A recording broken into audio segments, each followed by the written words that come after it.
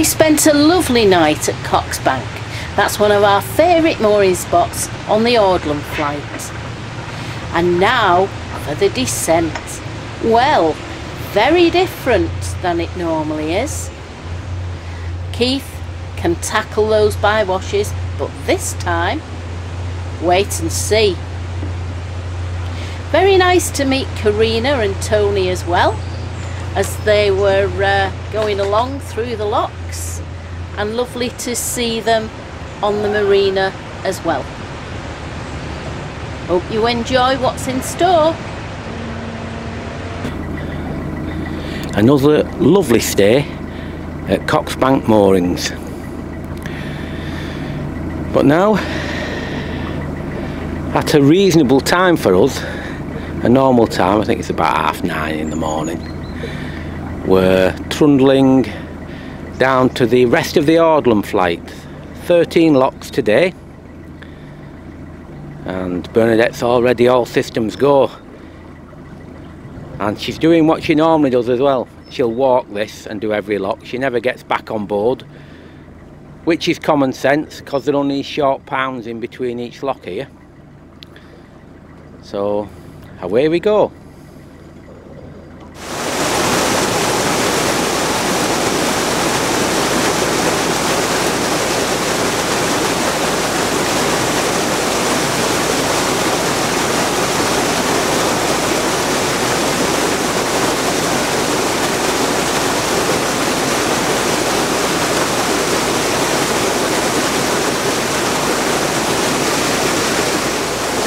Bit of an unusual one this. This is our first lock of today and the pound after bridge 76 is actually very low and the boat in front's been stuck on the bottom for a while and and they've let water through and got off again but I can see it going down again the pound bit unusual the CRT volunteer said he's phoned up the officer to say somebody needs to come out and do some checks. Wonder if we have to get down here quick.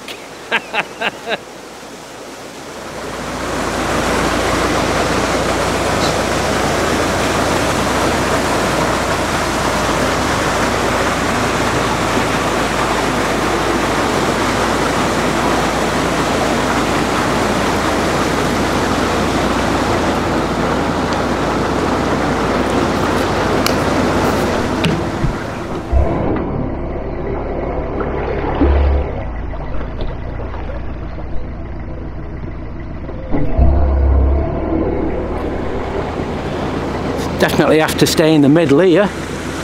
Currently that this pound is the foot down. Very unusual.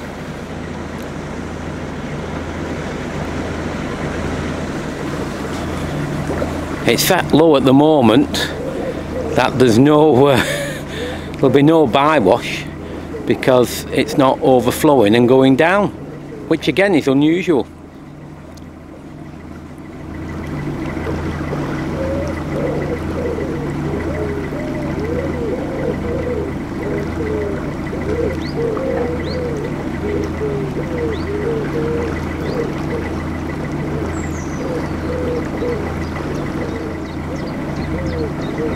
because the by washes you see, we know with the water not going down, it won't fill up the next pound.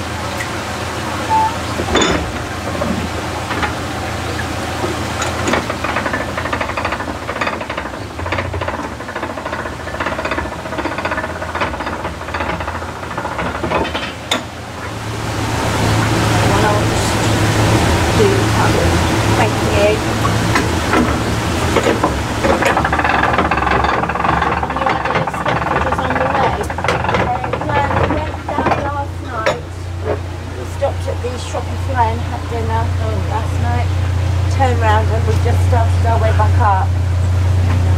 Yeah, this is lovely. Thank you. You enjoy your day?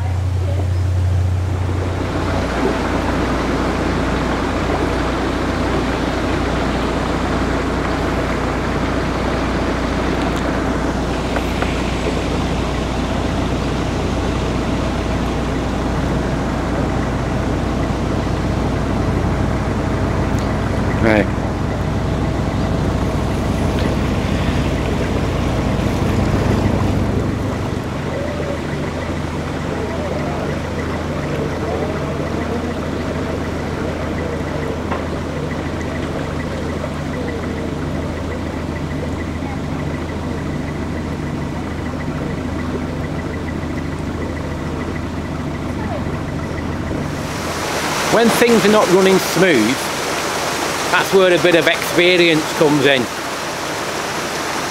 We've got a few people panicking ahead of us about the, how shallow it is. But you just have to be very, very careful and manage the water in a good way. Because there's no water coming through to the, you know, the overflow and creating bywashes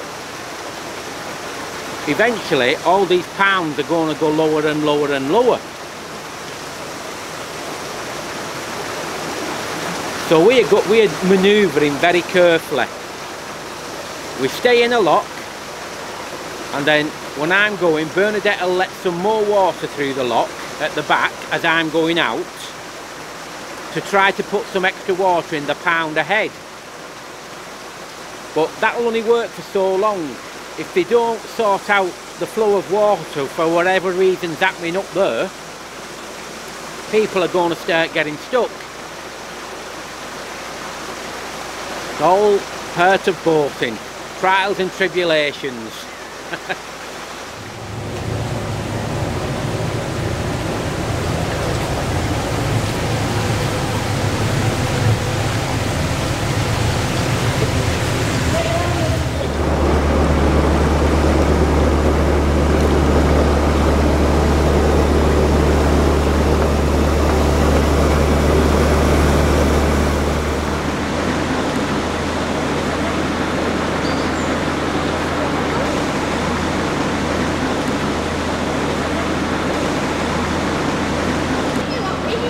Have you? Hey, I was watching you. And you as well. I love your videos. yeah, Yeah, Oh, yeah. Hey, keep them going. Brilliant.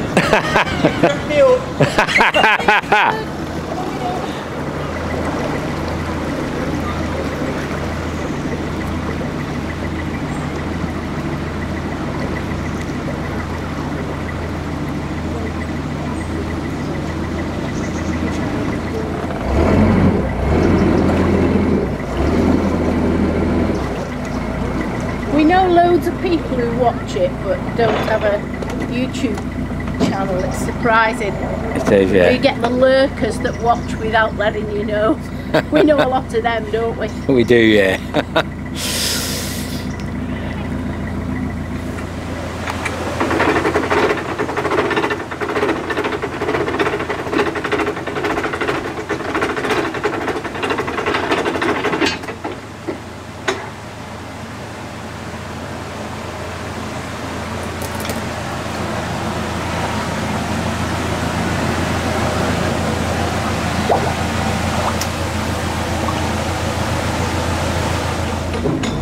Having lots of boats around when you're doing a flight of locks like Audlem just works brilliantly because it's one out, one in. Saves a lot of work for a lot of people. Still shallow though, and we're still being careful.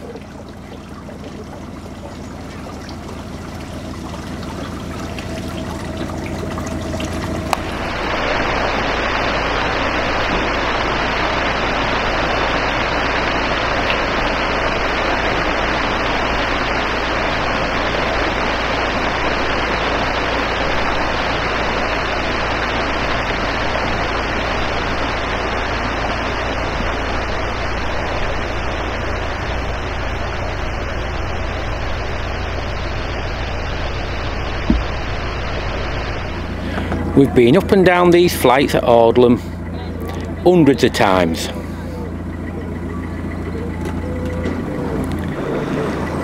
And not once have we had a trip like this. Not one bywash is actually functioning.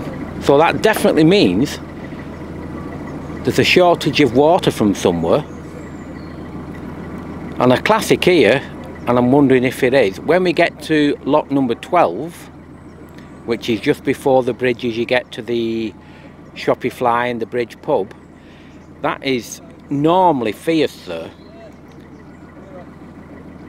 I wonder what it's like. I suspect there'll be absolutely nothing and it'll be so calm. Never ever known it. So something's happening. I don't know if we'll ever find out what it is, but there's something very, very different on this trip we've had on the Audlem flight. Certainly is.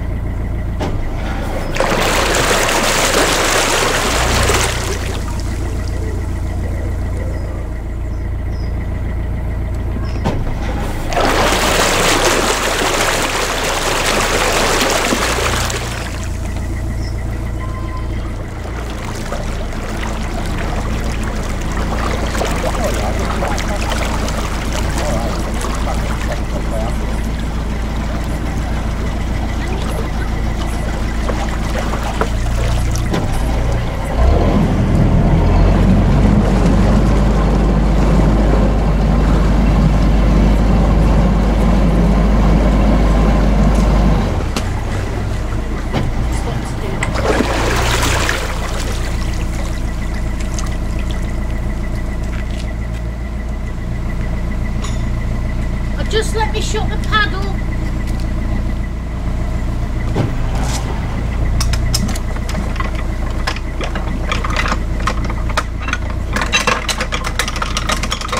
Right, done it.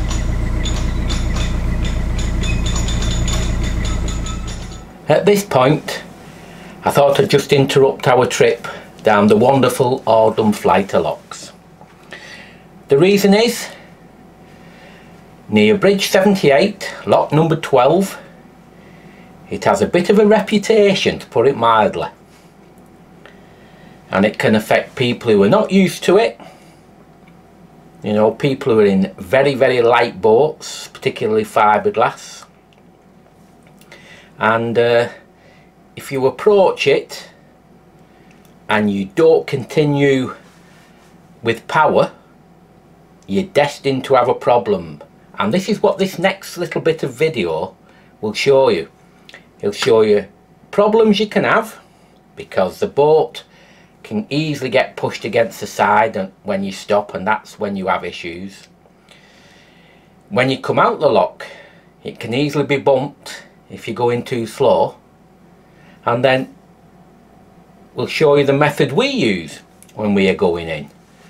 Because over the years we've got experience of the more difficult type of locks and we can normally cope with them and hopefully this will show you that.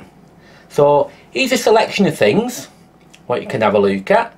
I hope you find it interesting to just it'll just confirm what I'm talking about and then we'll continue with our journey. So here we go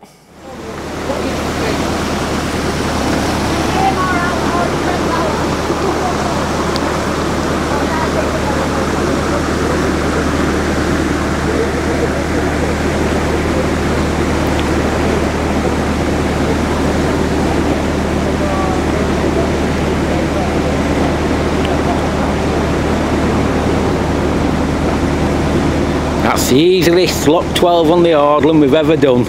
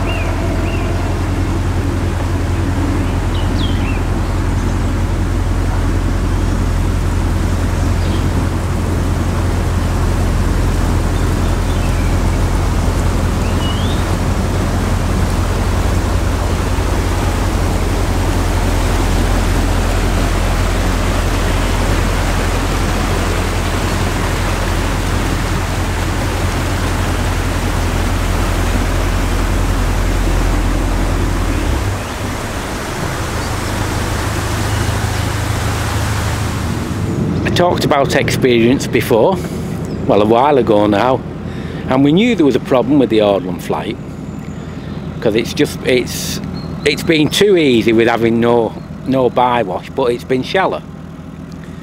Now this morning, like we always do, if we come across a problem, we don't we don't say well somebody else can let them know. We'll ring immediately.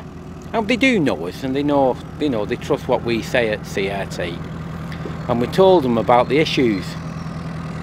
Anyway, we've, Bernadette's just been talking to one of the CRT guys who's just come up past the Shroppie Fly and there is a blockage, I don't know what that means, there's a blockage at Adderley Locks which is restricting water flow severely and they're getting it sorted out now.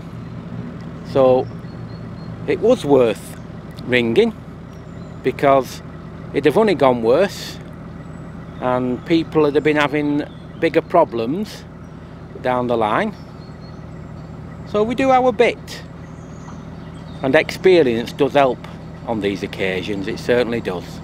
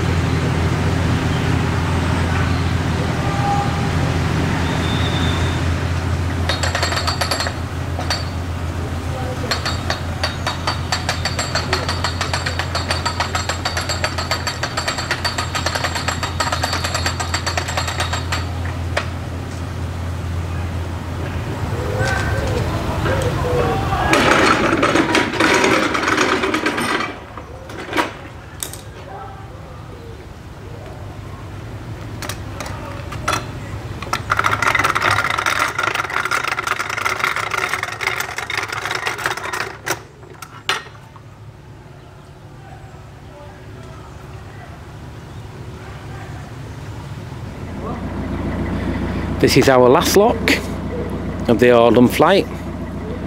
The easiest it's ever been. Yes, it's been a very curious uh, little uh, trip down the locks with no bywashes.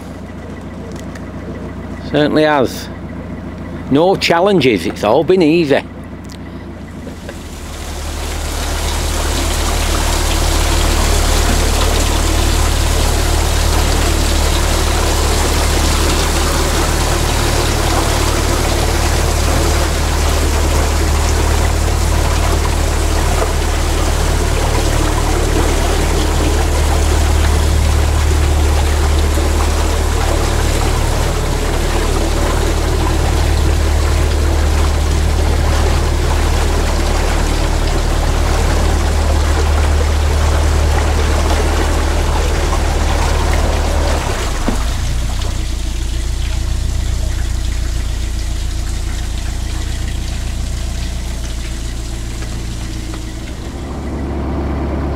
That's our first condensed cruise of the season completed. We're going back in the marina now and we're going to call home. Our commitments are at home and our priority. Check everything's alright. And then we'll be back out. Going back down the Shropshire Union. I won't say anything else for now. But there'll be plenty more history as well as some wonderful views and trips and anecdotes and anything. It'll be very enjoyable. But for now, that's definitely it. And we'll see you very, very soon. Ta-ra!